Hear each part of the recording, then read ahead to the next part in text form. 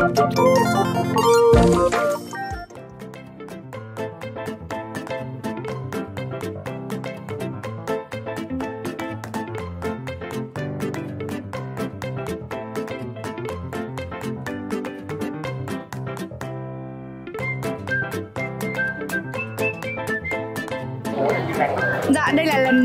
Em đến ạ. Em cảm thấy mọi người ờ, chuẩn bị, Thứ nhất là không chuẩn bị rất là tốt Và không khí rất là náo nhiệt và rất là vui ạ. Cô ở đi, em rất là háo hức, Không biết là hôm nay chị Ngọc sẽ làm cái gì ạ? Em rất là mong chờ ạ. Thì nó dân chào hơn. Nói chung là nó lân lân hơn á. Dạ có.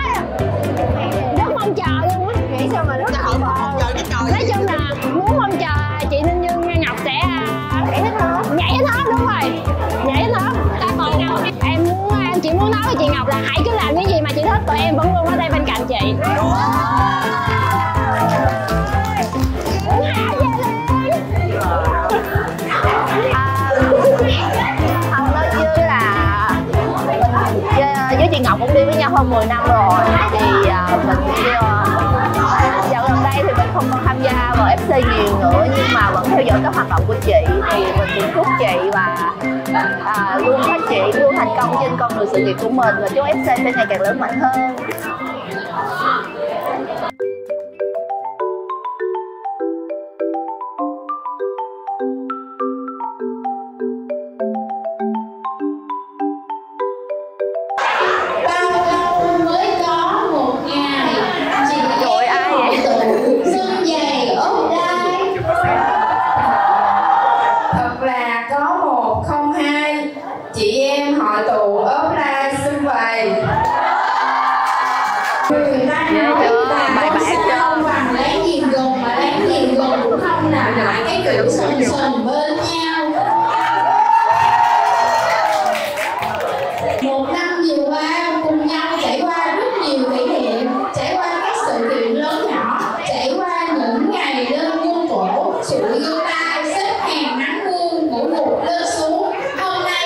Nay đặc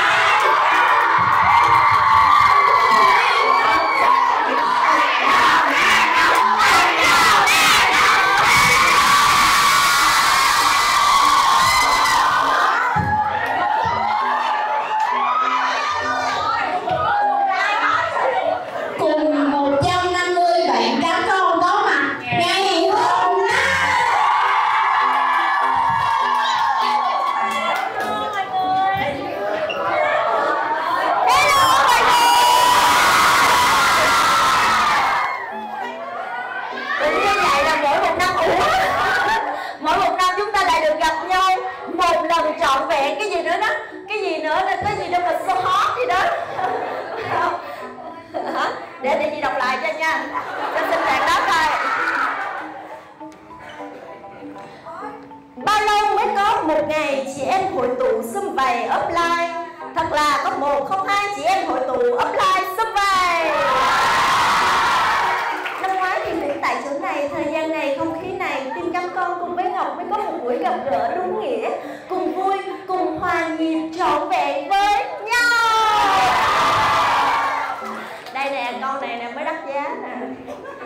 Ta nói bà con xa không cần láng giềng gần mà láng giềng cũng không làm lại cái kiểu sần sần bên nhau.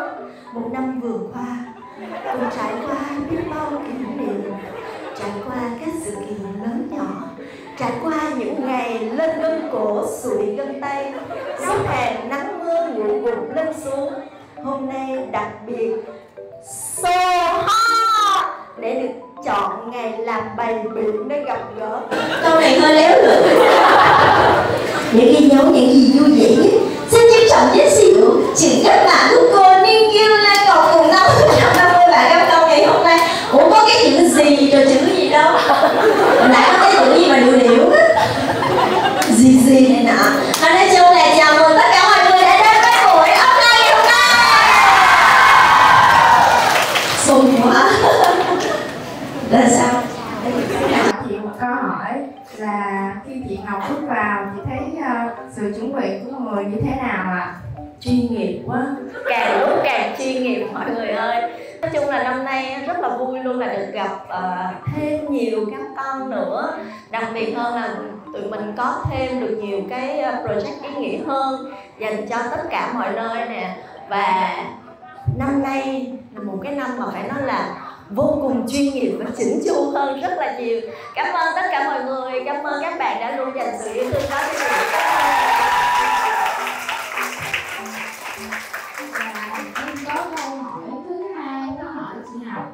Con biết là chị Ngọc có một kỷ niệm hay ấn tượng nào về FC mình trong năm qua hay không? Một cái nào đó mà chị ấn tượng nhất? Ờ, chắc năm qua là cái năm mà à, năm vừa rồi là một cái năm mà uh, ghi dấu rất là nhiều thứ. Đó chính là đầu năm khoảng 6 tháng đầu năm thì chị ế xô liên tục. Thì chị có được nhận rất là nhiều uh, câu hỏi của các bạn là uh, uh, khi nào mới được gặp chị? Tụi em nhớ chị quá. Và mọi người uh, canh chừng chị ở rất là nhiều nơi rất là hay luôn mặc dù là những cái thông tin đó là không hề biết luôn, nhưng mà mọi người đứng từ rất là xa và chạy lại chị có để ơn chị, bởi vì nó là 6 tháng qua không có được gặp nhau, nhớ quá. Và chừng nào thì mới có một cái buổi để gặp nhau nữa. Chị nhớ cái lần đó là chị còn nói là chị còn ế dài lắm. Chị còn nhớ hoài luôn là chị còn ế dài lắm. Cũng không có thấy cái lịch nào của quản lý ờ, nhét vô hết ngày nào cũng ờ, ở nhà thôi hoặc là đi tập hoặc là uh, mình học thêm một cái gì đó. Vậy thôi à. Xong rồi bùng nổ một cái là chị tham gia chương trình chị đẹp đạp gió rẻ sống giống như là mọi người gom hết những cái gì mà đã lâu rồi không được gặp nhau đó. Mọi người làm hết toàn bộ cho chị trong cái khoảng thời gian đó. Thật sự là cứ ờ, thấy chị ơi em làm cái này được không? Em có cái này, em làm cái kia. Nhưng mà cái mà chị sốc nhất, đó chính là những cái lúc mà các bạn phải chờ chị quay xong để mà được gặp nhau, để được ôm nhau một cái. Thì cái đó là những cái tình cảm, không phải nói là à có một cái kỷ niệm nữa là cái bài vì sao mọi người đứng quay và gửi cho chị coi. Cái clip đó là cứ đứng quay hoài mà không thể nào hát được xong cái bài vì sao đó. Người cứ chạy qua, chạy lại như thế này nè. Chị rất là cảm động luôn. Và cảm ơn các bạn rất là nhiều. Mặc dù là chị hay nói là chị không có muốn các bạn ở khuya, nhưng mà mỗi lần thấy các bạn ở khuya, chị cũng rất là sướng. À, nhưng mà thật sự là chị rất là lo là tại vì các bạn con gái nhiều quá nên đi về khuya thì chị cũng không có muốn, tại vì nó không an toàn.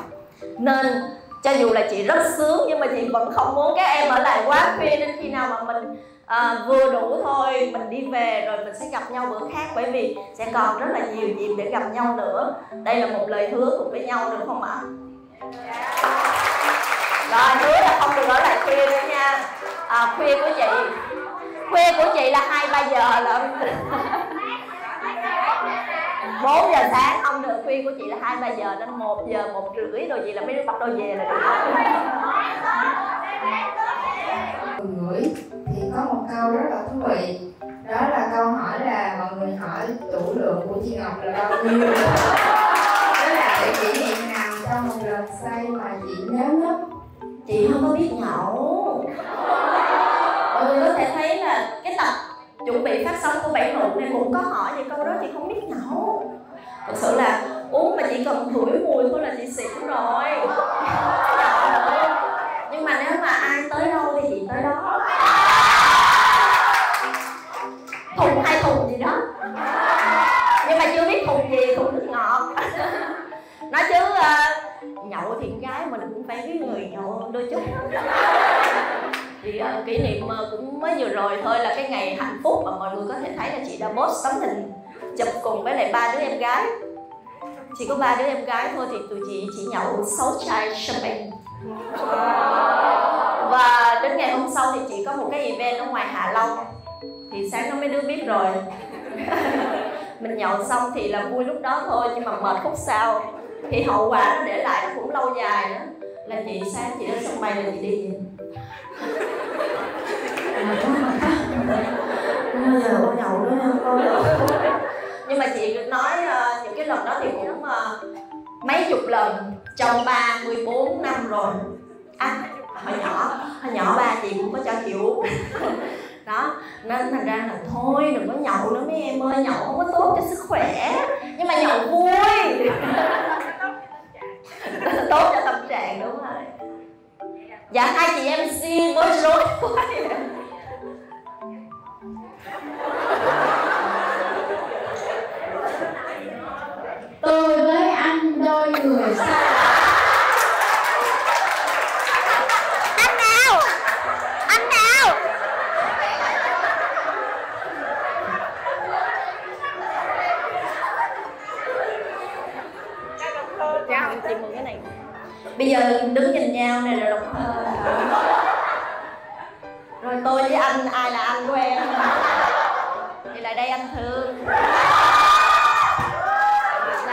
anh sao?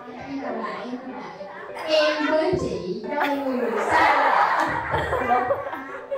Tự phương trời chẳng hẹn quen nhau. Thôi thì hãy cứ mau mau.